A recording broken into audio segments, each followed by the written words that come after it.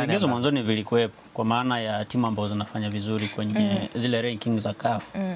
ndio vigezo ambavyo vilikuwa vimewekwa kwa mara ya kwanza. Kwa mara ya kwanza e, na maana Eh. vika vikatenguliwa tena na maana vile vilabu ambavyo vina ushawishi vina ushawishi. ndivyo ambavyo vinapata nafasi mm. ya kushiriki Super League. Unajua lengo ilikuwa ni kutengeneza mazingira Sio lengo, lengo si kufanya vizuri tu mm. kwamba ni ushawishi wa namna gani katika uh, katika ilikuwa hivi Mm.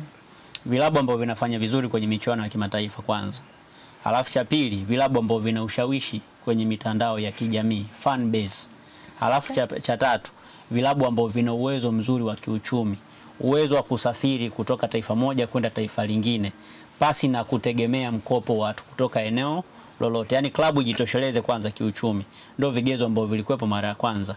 Lakini hapa katikati kukaibuka mjadala wa kwamba tayari kuna timu ambazo unakuta kwenye kanda moja kuna timu moja ambayo ina huo uwezo.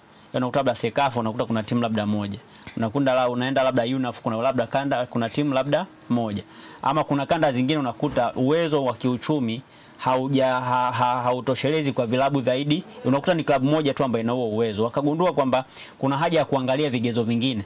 Ndio maana hapa katikati kukaja tena vikapanguliwa tena. Kukawa kuna timu nane ambazo zinaambiwa zitashiriki moja kwa moja kwenye haya mashindano. Lakini unaona tena kimefanyika kikao cha kuongeza timu kufikia kwenda mpaka 24.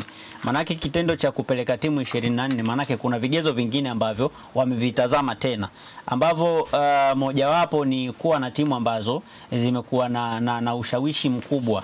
Inawezekana isiwe na uwezo mkubwa wa kiuchumi, lakini ikawa na ushawishi mkubwa kwenye soka la ndani, maanake zile game zake bado zikawa na tension kubwa ya, ku, ya, ya kutazamwa na vitu vingine. Unajua